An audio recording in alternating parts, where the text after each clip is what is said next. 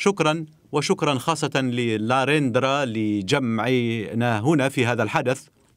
أعتقد بأنه من المهم أن نتذكر بأننا أطلقنا الشراكة للبنية التحتية العام الماضي ومنذ ذلك الوقت فطبعا شاركنا في الاستثمار من أجل البنية التحتية وكما قال إيمانويل ماكرون فإن هذه المبادرات والنشاطات التي نتحدث عنها اليوم هي طبعا قد وضعت لا أود التكرار مرة أخرى وربما أقول فقط إن علينا أن نكون نشيطين لنضمن حدوثها وتطبيقها وأيضا لنعمل على المؤسسات التي يمكن أن تعمل مثلا فيما يخص التمويل وطبعا هذا مهم جدا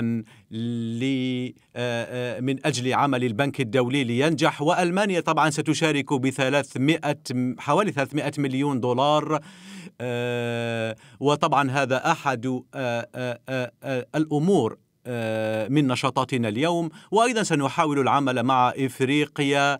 وطبعا سنجتمع في برلين في نوفمبر كعلامة لطبعا تنمية اقتصادات وكل الأمور التي نعمل عليها هنا.